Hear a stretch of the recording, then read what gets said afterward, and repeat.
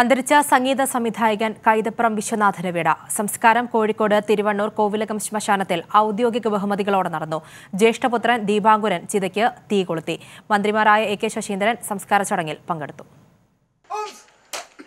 ഹൃദയസ്പർശിയായ ഈണങ്ങൾ കൊണ്ട് സംഗീതപ്രേമികളുടെ മനസ്സിലിടം നേടിയ കൈതപ്പുറം വിശ്വനാഥന് കർമ്മഭൂമിയായ കോഴിക്കോട് വിട നൽകി.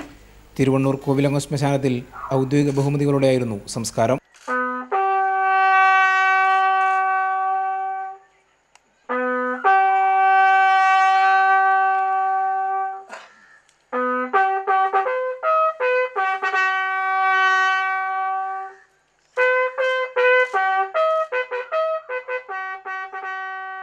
പൊതുദർശനം നടന്ന തിരുവണ്ണൂർ സ്വാതി തിരുനാൾ കലാക്ഷേത്രത്തിൽ മന്ത്രിമാരായ പി എ മുഹമ്മദ് റിയാസ് അഹമ്മദ് ദേവർകോവിൽ എന്നിവരെത്തി അന്തിമോപചാരം അർപ്പിച്ചു.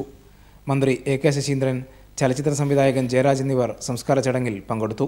മലയാള സിനിമയ്ക്ക് മലയാള സംഗീത സംഗീത മേഖലയ്ക്ക് ഏറ്റവും വലിയ ഒരു നഷ്ടം എന്നുള്ള കൂടുതൽ ഒരു വേദനയായി അത് അവശേഷിക്കുന്നു.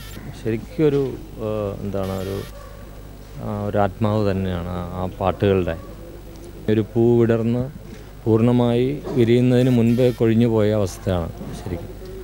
കോർപ്പറേഷൻ മേയർ ബീന ഫിലിപ്പ് ചലച്ചിത്ര താരം നിഷാന്ത് സാഗർ വിശ്വനാഥന്റെ ശിഷ്യർ സുഹൃത്തുക്കൾ കുടുംബാംഗങ്ങൾ എന്നിവർ അന്തിമോപചാരം അർപ്പിച്ചു.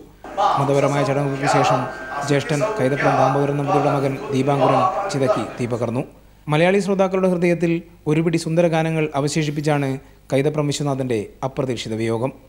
കൈരളി ന്യൂസ് കോഴിക്കോട്.